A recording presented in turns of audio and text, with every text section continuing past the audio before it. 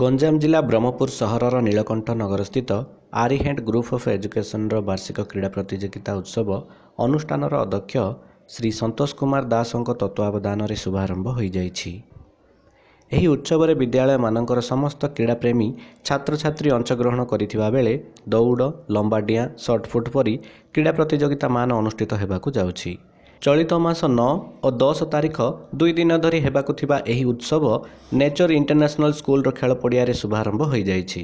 ଏହି ଅବସରରେ ବିଦ୍ୟାଳୟର ଅଧ୍ୟକ୍ଷ ଶ୍ରୀ ସନ୍ତୋଷ କୁମାର ଦାସ ଉପାଧ୍ୟକ୍ଷା ଶ୍ରୀମତୀ ନିବେଦିତା ଦେବୀ ଅତିଥି ଭାବେ ଗଳାବନ୍ଧ ଆର୍ମି ଏଡି କଲେଜର କ୍ରୀଡ଼ା ଶିକ୍ଷକ ଦିଲ୍ଲୀପ ବେହେରା ଏବଂ ଅନ୍ୟତମ ଅତିଥି ଭାବେ ସଂକଳ୍ପ ସେକେଣ୍ଡାରୀ ସ୍କୁଲର କ୍ରୀଡ଼ା ଶିକ୍ଷକ ଘନଶ୍ୟାମ ସେଠୀଙ୍କ ଉପସ୍ଥିତିରେ ବିଭିନ୍ନ ପ୍ରତିଯୋଗିତାକୁ ପତାକା ଦେଖାଇ ଶୁଭାରମ୍ଭ କରାଯାଇଥିଲା।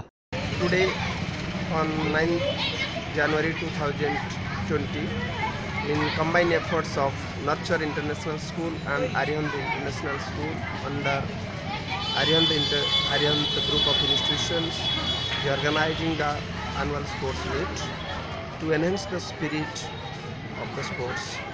Generally, every year we conduct to create the spirit in the minds of the students for the sports. The, definitely, the a sound body can create a sound mind.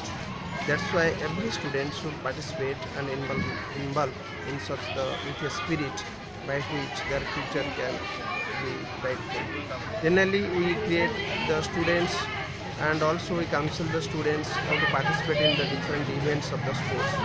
In our school, most of all the students they, they have been participating in the sports and in their real life how the sports will be useful so that is very much significance and importance and in this today the most important thing is the students with a joyful mood will participate in the events and also will continue such a spirit throughout their life so that is our motto and that we need from the students